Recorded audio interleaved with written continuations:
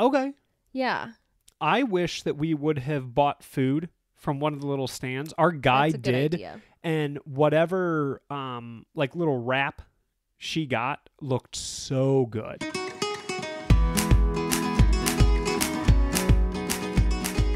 Hello and welcome to the Worldwide Honeymoon Travel Podcast, the podcast that talks about all things couples travel, including destinations, tips, advice, and more. I'm Kat, I'm Chris. and this is episode number 202.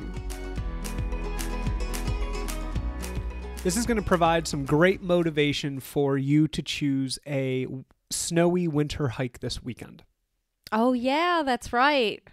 That's gonna. We don't have to get up at the crack of dawn for that, do we? Yes, we do. No, we do not. Yeah, we it's winter. Nobody's hiking in the park in winter. We have to see the sunrise. No, we do not. I see it su- rise every day when I take you into work and when I get up early to work out during the week. anyway, yeah, so we are now still talking about St. Lucia, dreaming about St. Lucia, especially as the weather is cold here. Um, definitely missing those warm, warm days. Um, and yeah, before we get into today's topic, what's been going on? Well, um, you cooked up a storm and threw a fantastic um, holiday party, Yeah, belated holiday belated party. holiday party. Um, and I mean, you had you had great food. Katherine makes this focaccia bread that is divine. It is absolutely perfect. Thank you, thank you. It is. I mean, it really is. Like I don't. I don't order focaccia bread when we go out to restaurants Mm-hmm. because I know it's always going to fall short of yours. I mean, I would imagine in Italy it would be pretty good. It was not as good as yours. We didn't have focaccia in Italy. I could tell by the optics, okay. and it didn't have that little like that you can like scratch on the bottom. I like a good hard crispy texture on the bottom of my focaccia. Always have, always will. Okay. and it's like akin to pan pizza in that way. You know, like when you mm-hmm. flip over a slice of pan pizza and you can scratch and go like. You know Yeah. what I'm saying? Yeah. Yours has that every time. But then it's nice and chewy when you bite into it. Oh my gosh, we got to use good? bread flour for starters. It has more gluten content, which gives it that chew. It's just so and then you put good. about three quarters of a cup of olive, olive oil in the bread throughout the process. So it definitely gives it that uh, nice little crispy back part. Very, very good. Yeah. I always enjoy your focaccia. Um, but yeah, we we did that. We got together with family to celebrate my sister's birthday, which was also a lot of fun. Mm-hmm. Um, I had a delicious oatmeal cream pie, like homemade oatmeal cream pie, not homemade, store like restaurant made, Yeah. but not prepackaged. Yeah. Um, that was fun. Mm-hmm. Um, we yeah, Finally took down our Christmas decorations. that may had be my them up highlight. for almost two months, so that was certainly a good thing to finally get taken down. Um, yeah, because we put them up around mid-November. Um, oh yeah, the Christmas sheets are still on our guest bedroom bed, but I'm taking those down tomorrow when I wash them. Don't worry, Christopher. He was literally pointing at the Christmas sheets while I was like, "Yeah, we finally took everything down." Yep. Yeah. Um, I always miss it because I do love our place at Christmas, but I also love having a little bit more space Mm-hmm. that isn't taken up. Like we have a pretty big tree. It's we as go wide as I am tall. we go all out. It it is more than four feet wide, uh, Stop it! No, it's like I'm five four, and, I, it's and five four I wide. literally think it's five four wide. Yeah, you know, it takes up a lot of space, and it's like an eight foot tall tree. So I'm not going to bore everyone with this, but I'm fairly certain that there is a way to figure out like the volume of the tree if we are going to treat it as a cone. okay, You know what I mean? yeah. I mean, I believe that there is a pretty simple formula for that. That's geometry. yeah, But we'll get into that in a future episode. okay, Um, gotta dig out the the high school geometry. uh, some of us took that course in middle school. Okay, you know what I mean. Eighth grade geometry. Okay, Yes. okay, Yes. Did you guys do proofs in geometry? yes. Do you remember those? Yes. Okay. This, ought is, to be good. This is really weird. Um, yeah, I mean, I went to a high school that was very very tiny in the middle of nowhere in Kentucky, and um, we actually went through three geometry teachers In one semester? in like one year. Or no, it was one. Yeah, no, it was in a whole year. We went through three geometry teachers. Um, yeah, and like For what reasons? Like nefarious reasons? I think or- one one person was there, and then he just like disappeared and never came back to work. Hold on. Like, Let's start with this one. yeah, Is this person okay? Like, were there. I think he's yeah he's he's alive. He just like dipped out and like never came back, and we were like, cool, man. Um, and and as you can imagine, being a smaller school, um, it is kind of harder to find teachers that want to live in a tiny town, kind of in the middle of nowhere, and be a teacher and not get paid very much. So like it can be pretty hard to find staffing there. And um, so he just dipped out and disappeared. in the middle of a semester? yes, What about the children? it was only like two months in. Um, and Did he what like did this person like legit know what they were doing or were they like I am in way over my head with I geometry? I really they didn't really like tell us all of this stuff. I mean, he's a math teacher. I would imagine he knows what he's doing with geometry. Um, I Huh. think it's like, That's an assumption. but I will say that like there were some like very misbehaved children like in my class at times, and they would be a lot to handle. what did you do? I didn't do anything. I was the star child. Oh my god! but like yeah i'm pretty sure like so he just like dipped out dropped off the face of the earth everyone was like "W- we don't know yeah, we don't um, know if our proofs are correct. No exactly this was when we were trying to learn proofs and then we got like I loved proofs. then we got another teacher and like she also left for whatever reason but she like we knew she was like she like announced her departure Okay. um i'm pretty sure she pushed one of the kids because he was being really bad Pushed a child? I don't. Yeah, I mean, we were like 15, but there were some unruly kids in my class. Got to Um, draw a hard line. Yeah, and then the last one was a substitute teacher, so like he was doing his best, but like he didn't get like a full on degree in mathematics or anything to like do this. Man. So like I'll be honest, geometry is not a strong subject for me because and probably for everyone that was there at that school during that semester and that whole year because like we had various teachers teaching various things and like I never we learned proofs like very very little because it was happening during all of this like time of transition. Oh my gosh, we had almost like an entire year of proofs. Yeah, no that and I'm pretty sure it was 10th grade when we learned geometry. 10th grade? Yeah. What maths did I you mean, we we learned when did you it's take not- algebra? algebra was ninth grade. Okay. We started it. The more advanced students, like we started that in eighth grade a little bit in our Okay. math class, but then it went more like into algebra, and then algebra two was in tenth grade. wow. Yeah, I thought geometry was in 10th grade. we also had that too. Oh, you didn't even have a full year. Well, I with the staffing issues. Well, you know, Um, like high school, you have like all this different stuff that you have to take. Right. You anyway. What was um, your highlight of the week? Okay, highlight was the Christmas party that I threw. Um, what was yours? Mine was your focaccia. Okay, just that. anytime, you know, anytime you make the focaccia bread, I think it's always going to be my highlight. Um, it's great now because we have the KitchenAid mixer, so I don't have to work like kneading this dough for like 30 minutes straight and getting an arm workout and sweating. Um, I can just throw it in the mixer, and it makes my life a lot easier. All I heard were three words: expect more focaccia. okay. So I'm very excited about that. Okay. But let's get into speaking of volume and uh, conical conical things. Um, when we were in St. Lucia, there were quite a few conical mountains called the Pitons, the Petit Piton and the Gros Piton, and we did hike the Gros Piton.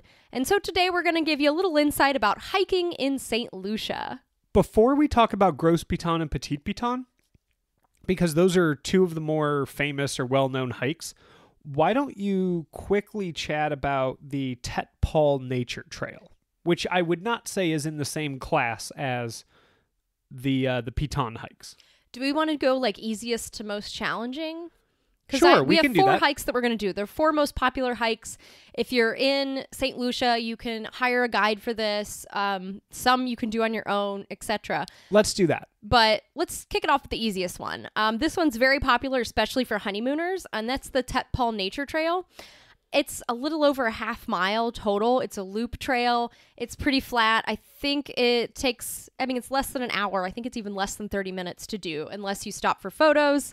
Um, only 134 feet in elevation gain. Um, and the best part, you do need a guide for it, which you can get when you get there, um, or you could just book it through a resort or whatever that you're staying at. What is the reason that you need a guide? I don't know if it's just for conservation, Make sure you don't go off trail. That maybe sort of that thing. sort of thing, because Yeah. there's a lot of trails here that, like the Gros Piton, you had to go with a guide, this sort of thing. So you do need a guide. Okay. Um, but this is such a great hike for like very little effort for some great payoff. Um, the views are amazing. You can see both pitons without hiking crazy, crazy amounts uh, to do so.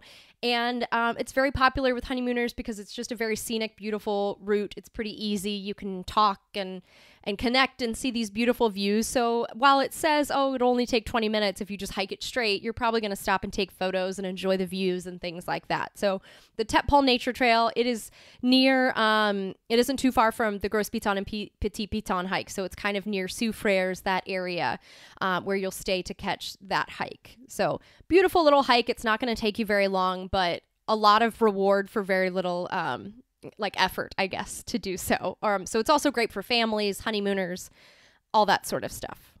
Great. Yeah. And we did not do this hike. We did not because we didn't have the time to do it. But if we did, I would have loved to have seen it. Um, again, it's an easy hike. It's just an easy go do it in the morning and then come back and hang out on the beach the rest of the day. And you got to hike and see some beautiful views, you know?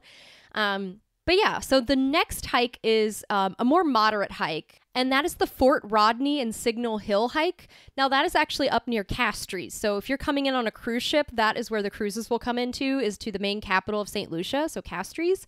Um, and this is in, sorry? S- sorry, just to quickly like give some geography here. So Castries and this hike are in the northern part of the island.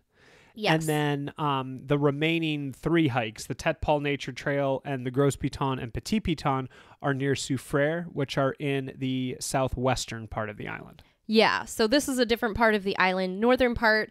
Um, this is also in Pigeon Island National Park, which is a highlight to go see, especially if you are in Castries. Um, fantastic views of the Caribbean, of the just the area and the mountains of St. Lucia.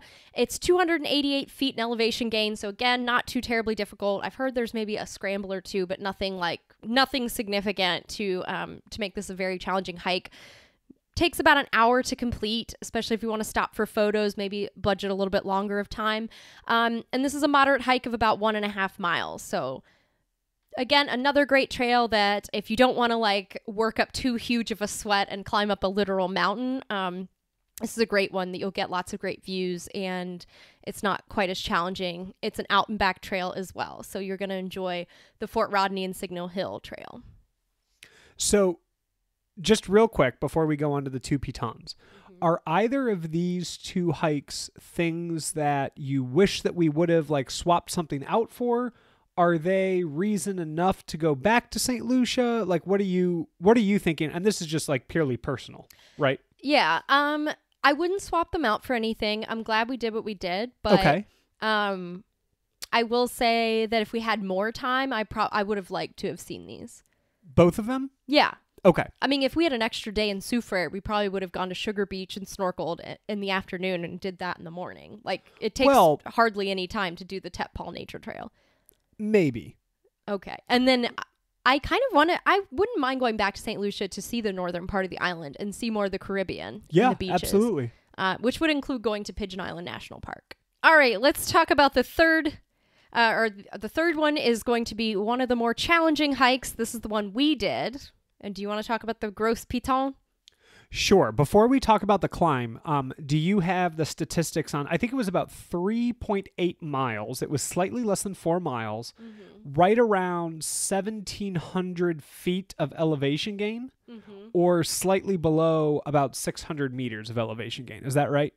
Yes, and the elevation of Gros Piton is 2,600 and I think 19 feet, if I can um, read my handwriting, or about 771 meters. So it is the tallest of the pitons, uh, hence the Gros Piton. Um, but yeah, and it took us about three and a half hours to complete. Yes, three and a half hours total, um, under three hours of moving time, I will say. And the reason why I split it up that way is because there are um, four different uh, spots that you're going to stop at. So the first is about the the quarter mark, and you actually start by walking through a village with some um, stands that are selling food or beverages or piton beer. And make sure you have a Um, lot of water Yes, for this. Um, I actually bought some water before at this little village beforehand, yes, and they- there's a place to go to the bathroom, which I highly recommend doing before you go on your hike. There is. They recommend about two liters of water per person um, for the hike. And they also have hiking poles or um, like trekking poles that they are offering for rental for $5. dollars Um, Kat decided to rent one. I did not decide to rent one. Um, but that was just like purely a personal choice. Yeah. Um, but you you start walking through the the tiny um, village, and then you get to the um, actual trail and start hiking up. And really, you are hiking up the entire time. It's like Um, Table Mountain on steroids. I felt like. I thought Table Mountain was much harder. No, I thought Table. I think Table Mountain was harder because it was, it was warm, but we had no um, cover. Like you know, at least with this trail, you're mostly underneath the trees in the forest, kind of going up the mountain. Um, there is no cover. Like there's no shade when you're doing Table Mountain. At least the uh, is it Platteklip Gorge Yes, uh, or Cataclip or Pataclip? I can't remember. There's a gorge. there's a gorge that you hike through and it's there's no cloud cover uh or no cover. It was a sunny day when we went. We didn't bring enough water. A lot of factors there that really made it challenging uh, for the hike. So i think had we been better prepared it wouldn't have been as bad. Okay. but yeah i think Gros Piton was harder as Okay. far as like the actual technicality and climbing up So when we get to the end of it, I was going to actually start like going through some of the past hikes we've done to see if you think it's harder or easier. Just because I know that you've had um, listeners and readers contact you and say that they've done some of the hikes that we've mentioned or that we've done. So just to kind of like give people a um, sort of a a taste of where it's at. Yeah, yeah and this Um, based upon our our personal experience. and our fitness levels too. It took us three and a half hours. Um, some some people do it in less time. Some people do it in slower amount of time. I'd say we were pretty average, if not a little bit faster. Yeah, I think that Um, that's right. Yeah, because we passed a few people on the way up. Um, but yeah, But so Yeah. you're hiking through the village. You you hike the first twenty five percent, and you get to a pretty neat um, lookout point where you'll stop, have some water, all of that good stuff. Um, keep views of the Caribbean. yes, views of the Caribbean. You keep hiking up, and this is actually, in my opinion, the best view of the entire hike. You're at the halfway point, and you have this gorgeous view of Petit Piton. Mm-hmm. um, from the 50% point up to the 75% point, the 75%, three quarters of the way up, you're going to stop near a mango tree that is over 300 years old. Yeah, and this is pretty much all in the forest. You're just straight up hiking. All uphill, Mhm. all technical. Mhm. Um, they do have, at many points throughout the hike, um, I'll call them like railings or banisters made of um, branches. Mhm. which are are very helpful. Um, but yeah, your your quads and your hamstrings and your glutes and everything are going to uh, going to be sore with Mhm. this hike. Um, and then from the seventy five percent up to the top, um, again all uphill, right? Um, but I didn't think that that was as bad as the halfway to three quarters mark. Um, but once you're at the top, you have gorgeous views of the island. Um, on clear days, you can see St. Vincent and the Grenadines. You can see Martinique. Um, it was a little hazy further out on the day we were up there, so we actually didn't get to see those. But we saw tons of um, villages, um, mountains, mountains. Yeah, it was gorgeous. The one thing that was missing from the summit, and maybe this is on me, maybe I didn't look in the right direction, but I think I looked all around, was Petit Piton. Yeah, you don't see that from the summit. You see, because I think you're on the other side of the mountain at that point. Yes. Um, you see Petit Piton from the halfway point. So there are actually a lot of people that just hike to the halfway point and back. That's totally fine. There were some people we saw that only hiked to the quarter part and back. Um, because it is quite challenging and it is technical. I mean, it is a lot of like using rock like stairs Yes. um, which can be a lot, especially if you are not a big experienced hiker or anything. So definitely, um, yeah, if you only want to do the halfway point and turn around, honestly, that was the best part. More power to you. Yeah. Yeah. I mean, I would say that if you are hiking for views, you're either going 25%, 50%, or 100%. percent You're not going to stop at 75 and Like, turn Look around. at this mango tree. Right, right. Um, and like I said, I mean, my favorite view was the was the halfway point of Petit Piton. Yeah, and um, you do have to have a guide for this hike. It's fifty dollars for the guide, or you can book it through your resort, and they'll arrange all of that for you. Um, the last hike goes out at two o'clock in the afternoon because they do shut it down. I think around six, um, and the first hike is between seven and eight in the morning. So um, I recommend earlier in the day to get before the uh, sun gets way up in the sky and gets super hot. So in the cool of the morning. Yeah. Um, and I will say, as far as the quarters go, I feel like the first quarter was challenging because you start going uphill and you're, you know, you know when you first start a cardio cardio workout and you're like, oh, what's this? The second part, um, like your heart kind of has to catch up, and then the second part um, was actually a lot easier to get to the halfway point because you're you kind of used to that elevation and all of that stuff that you're doing. Then it was the three quarters part to get to the three quarters. Um, that part is again another challenge because it is just straight uphill and you're again your body's like what is happening to me and then finally the last bit you start getting used to it again and then you make it to the top. And you're also like okay i'm almost there i'm almost there. It's only like 20 minutes left um, and then you make it to the top and then coming down um, is far easier breath wise and cardio wise but it is a struggle with your like lower body. So if you have knee problems be careful wrap up that knee or something um, and that's where the pole comes in handy too having a hiking pole coming down the mountain because Yes. it can be rougher on your knees Um, Absolutely. yeah, because you're climbing back down. It's an out and back. So you're coming right back down the way you came, and that can be a challenge. I thought it was more technically challenging, making sure you don't slip and fall during that. I thought coming down was far harder than coming up, or going up rather. I definitely think going up was harder um, because it was like really challenging your muscles, especially when I have short legs. So it was a lot of like really stepping up high. Yeah. Um, so you're really using your leg muscles and stuff. Um, but coming down is definitely a challenge in its own way. Like you think, oh, like most of the time, if you go up a mountain and you climb back down, it takes like 30 minutes to get down, but like two hours to get up. sure. This is like two hours to get up, and you still take like an hour and a half to get down because Sure. it's quite a it's quite a you maybe don't have to stop and take breaks as much because you're not like out of breath or anything, but you uh you do want to be careful getting down the mountain, especially if it's raining yes. or like uh or it had rained or something. yes. That's even more treacherous. Yeah. Yeah. Um, so let's talk about like where it um where it compares. So Okay. both of us agree that halfway point was the best view, right? Mhm. Okay. Both of us are happy that we did the hike. Mhm. Okay. Um let's Stowe Pinnacle in Stowe, Vermont. Do you think that Gros Piton or Stowe Pinnacle was more challenging? Uh Gros Piton. Agreed. How about Mount Killington in Killington, Vermont? Uh Gros Piton. I thought was harder than I anything agree. we did in Vermont. Yeah. I agree. What about Mount Cammerer in Great Smoky Mountain National Park? You know, I think I'm going to go with Gros Piton being harder because Mount Cammerer, I think it was really only challenging for like the first hour and it was relentless uphill. It wasn't quite as like picking your leg up and like pushing yourself up quite like a stair step. It was more like a constant uphill steepness. Okay. But then you also hit this mar- mile marker part where it was mostly flat when you got on the Appalachian Trail. Agreed. So I would say, yeah, Petit Piton or Gros Piton was harder in Okay. that regard. Um, what about the? Oh my gosh, why am I blanking on the name? Where is it? The long hiking glacier that we did. Um, that full hike Is that I the Highline Trail? uh to Granite Park Chalet or Granite Yes. Yeah.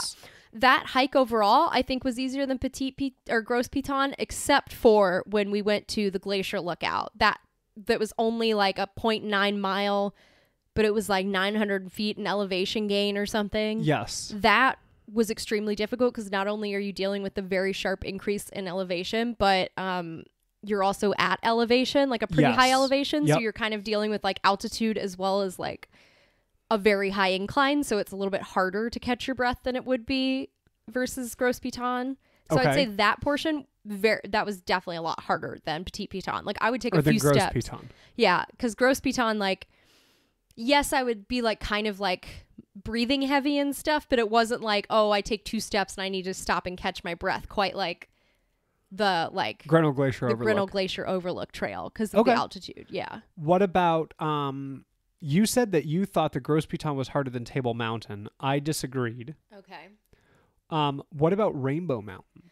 Rainbow Mountain was definitely harder. I, I mean, agree you're with you're at like fifteen thousand feet in elevation. It's not. e- It's not even like the technicality of the trail that made it harder. And it, literally, the only reason why Rainbow Mountain is harder because it wasn't like.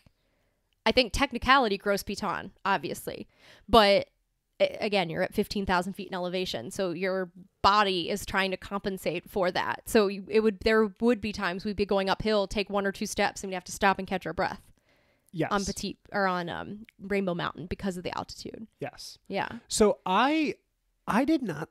excuse me. I did not think the Gros Piton was like terribly challenging. I think one of the challenging things for me is that I couldn't get momentum. If that makes sense. Like I couldn't um because like I have longer legs, Yeah. you have shorter legs, and our guide had shorter legs. yeah. So I couldn't necessarily go like at the pace that I wanted to all the time. Um and that was a little challenging, but overall I think it was a definitely a challenging hike, but it wasn't something where um I would say that you had to have like extensive experience or what have you to do it.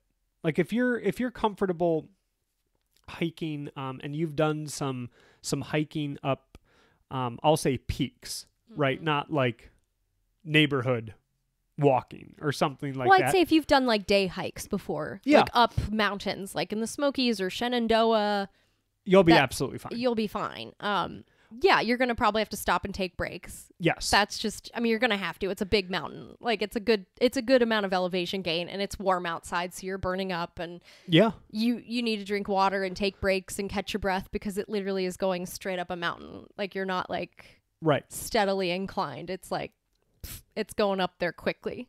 So both of us said that it was definitely worth doing. If you go back to St. Lucia, is it on your list? No. I mean, I've done it. I would maybe go to the halfway point because I just don't feel the need to go all the way back to the top. Okay. Yeah. That's fair. Yeah. What about you? Um, I don't think that I necessarily would do it again. Um, and that's because of what we're going to talk about next. But um, is there anything you would have changed about the hike? Um, maybe starting earlier in the day. Okay. Yeah.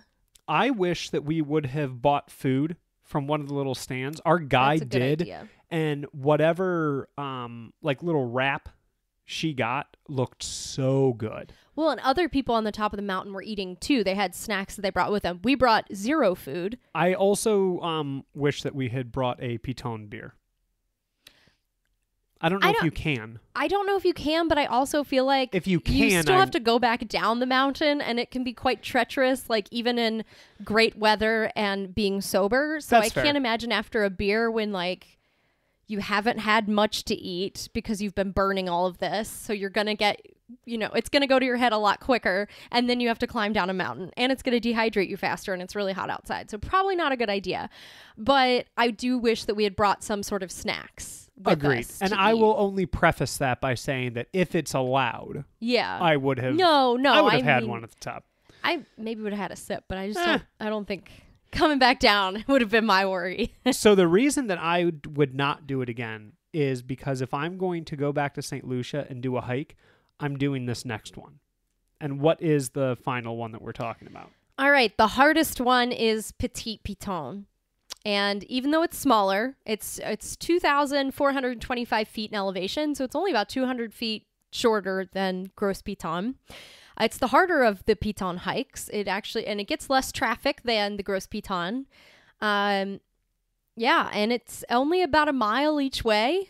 So two miles, you think, oh, that's not that bad. Um, you know, I used to think that the distance wouldn't be a big deal, and then I hiked up to Grinnell Glacier Overlook Trail and realized how much of an elevation gain you can get in like less than a mile, and I was like, "Whoo, baby!" Um, yeah. So never, never be fooled by the uh, the small, the shorter hikes. um, especially when you're gaining about 1,250 feet in elevation.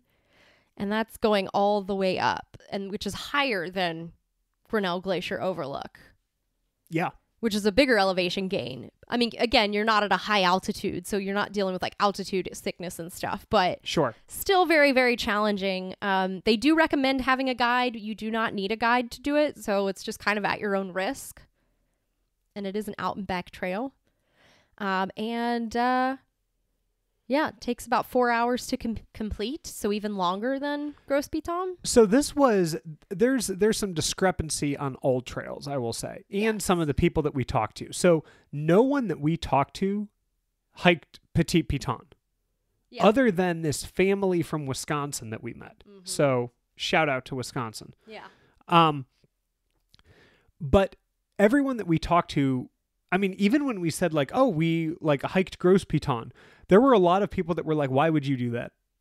And but then we met some people that are like oh I've hiked it once or twice or something like Yeah. locals I feel like the locals like try to hike a it one and done. once it's like a Yeah. one and done they've done it except for the like people that are the guides that do it sometimes multiple times a day which is insane But, Yes, yeah. but Petit Piton, um, there is not a ropes course, but there are ropes that you will have to use, utilize some upper body strength for a scramble. There is a rabbit hole at the top, which is like a tighter rock formation that you would have to squeeze through. Um, it it's more technical. yeah Um, it's it's going to be more challenging. We did not do Petit Piton. Before we went to St. Lucia, we were kicking back and forth the idea of doing Gros Piton or Petit Piton. Um, we decided on Gros Piton. Um, and I'm glad that we did because again, like it's kind of like I I attribute it to um kind of like the like why I'm not terribly interested in dining in the Eiffel Tower in Paris. When you think of Paris, you think of the Eiffel Tower, and you can't see it as part of the view if you're in it. Yeah. Does that make sense? Like if you're Yeah. hiking Petit Piton, you're not going to be able to see Petit Piton, but you can see Gros Piton theoretically. Yeah. Um, I do think that it does have better views from the top.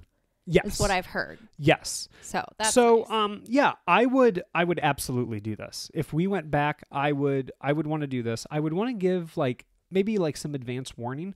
I have the upper body strength of a third grader. Like I'm just not a um I can run for like miles, Mm-hmm. but I'm not a uh, I'm not a uh, muscular dude um in in the upper body region. So Yeah. using like the ropes and all of that would probably um that would probably be the biggest challenge for me. and it would have to be like on a nice day. Like I could not do it on- a rainy day. Like No, we did that would with be old tough. rag. That would be really tough and dangerous. Yeah. And even in the reviews of Petit Piton, there are people that are like, "There's a couple of places where like if you fell, like that's it." And uh, I will so you do have to be careful. And I think actually having a guide is a good idea. Like hiring someone to help you with that because they know more. you know. so from what I've read, it's it's nearly impossible to walk off the trail. Okay. It's a it's a well marked trail. You're Oh, not you gonna mean like getting lost? Right. Yeah. You're not going to get lost. Um, also, if you have a fear of heights, there is thick underbrush on the side. So there, it's not like you're looking straight down into like the ocean or something like that, right? Or or the sea, I should say. Um, but the the other reason for a guide is that if you go through AllTrails, you'll see that some people were like, "Oh, it was thirty dollars. Oh, it was fifty dollars." Like, and then there was someone that was like, "This isn't like there's no entrance fee," and I just told the guy that, and he was like, "Ah, you got me."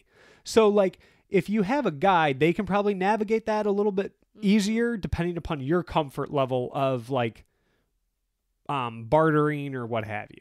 Well, and I also think it's nice to like have an experienced guide who's done this before, so they can kind of, so so you won't get lost, or they can kind of help you navigate like how to get through certain areas and stuff too. So Sure. I think that's always a good idea um, to have a guide probably for a hike like that. Agreed. Yeah. if we went back, is this something that you have any interest in doing, or is this more of a I'm going to sleep in, you have fun, and we will catch up at lunch? No, I I would do it. I would probably be a one and done thing, like Okay. um, yeah, because I like to challenge myself. But Oh I'm yeah, just- yeah, yeah. But like, yeah, Fair enough. am I going to complain halfway up? Uh, probably, but like I'll get through ay, it. Goodness. I was a trooper during Gros Piton. If the walk to I just the sweat trail, profusely at Gros Piton. yes, because I put on like my like I put I put on a ton of like uh, sunscreen and stuff because I wasn't sure what the cloud cover would be or like all you know the forests and stuff, but also just because we're you know we're gonna be outside and that sunscreen is thick. It's like a mineral sunscreen and it always makes me sweat more. So like I was just pouring sweat the entire time and drinking tons of water to keep up with all the sweat that I was losing. So it was uh yeah.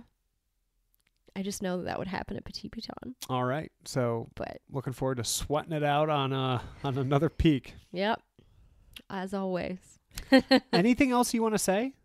No, I um I really enjoyed the Gros Piton hike, and I think a really cool, unique thing about St. Lucia is that there's lots of great hiking opportunities. Um, so it's not it's not just an island where you want to just sit on the beach the whole time. I mean, you can if you want to. It certainly has something for everyone, but uh, lots of great hiking opportunities if you guys want to get out and actually get inside the island and really explore. Um, so yeah, but that is hiking in St. Lucia. Um, let us know your thoughts. Have you guys been hiking in St. Lucia? Would you guys be interested in doing that? You can always let us know on Twitter at WW Honeymoon, Instagram at Worldwide Honeymoon, or email cat at worldwidehoneymoon.com. But thank you guys so much for tuning in. Thanks, guys. Thanks for tuning in, and don't forget to rate and review our podcast. It takes less than a few minutes and really helps other people find us. Also, if you're enjoying this awesome free information on both the blog and podcast, when you're booking your next trip, head over to worldwidehoneymoon.com slash resources and use the links provided. We earn a small commission at no cost to you when you book through these links, and these are all brands and companies we know, love, and use, like Skyscanner for finding the best flight prices, World Nomads for the best travel insurance, TripAdvisor for hotel bookings and reviews, and even Amazon for all of your travel purchases. Thank you for tuning in. We really appreciate it. Wherever you are, wherever you go, remember to make every day a worldwide honeymoon.